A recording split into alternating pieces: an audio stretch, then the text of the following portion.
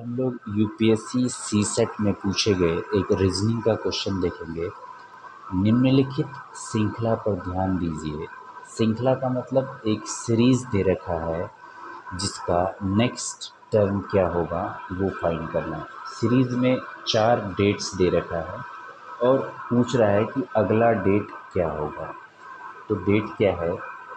चार दिसंबर उन्नीस सौ पंचानवे एक जनवरी उन्नीस सौ छियानवे, उनतीस जनवरी उन्नीस सौ छियानवे, छब्बीस फरवरी उन्नीस सौ छियानवे।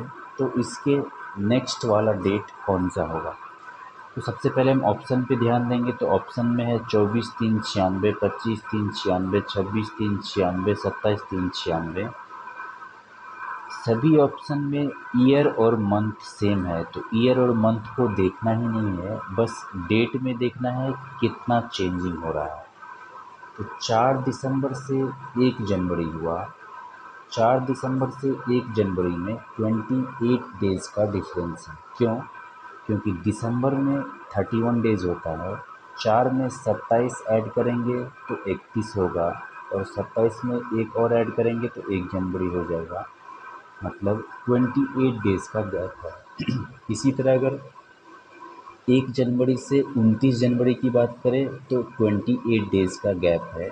इसी तरह छब्बीस सॉरी उनतीस जनवरी से छब्बीस फरवरी की बात करें तो इसमें भी ट्वेंटी एट डेज़ का गैप है, क्योंकि उन्नीस सौ छियानवे एक लीप ईयर है और लीप ईयर में ट्वेंटी नाइन डेज़ होता है फरवरी। इसलिए इसमें भी ट्वेंटी एट ऐड करना पड़ेगा।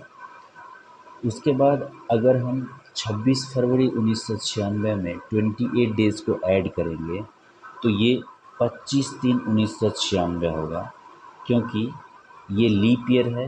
तो अगर हम छब्बीस से काउंट करेंगे तो थ्री डेज़ तो फरवरी का ये हो गया। उसके बाद और उसमें पच्चीस ऐड करेंगे तो 25 मार्च उन्नीस सौ छियानवे हो जाएगा और ऑप्शन नंबर बी मेरा है 25 मार्च उन्नीस सौ छियानवे, जो कि करेक्ट ऑप्शन है। Thank you